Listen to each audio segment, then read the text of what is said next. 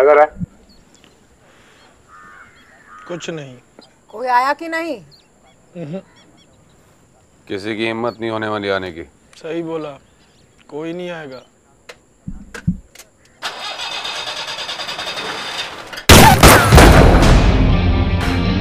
हमने कितना बुलाया पर कोई नहीं आया।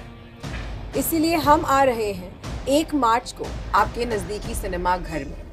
चंबल की कहानी लेकर।